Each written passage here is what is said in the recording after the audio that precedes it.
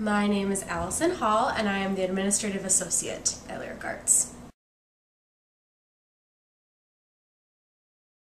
Um, Olive Garden, probably. Ooh, that's a toughie. I have traveled to Africa and I've gone on a safari. And I'd really love to do that again, but I can't say no to the beach.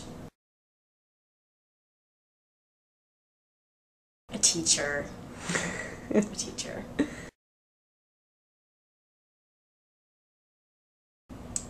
Oh, coffee.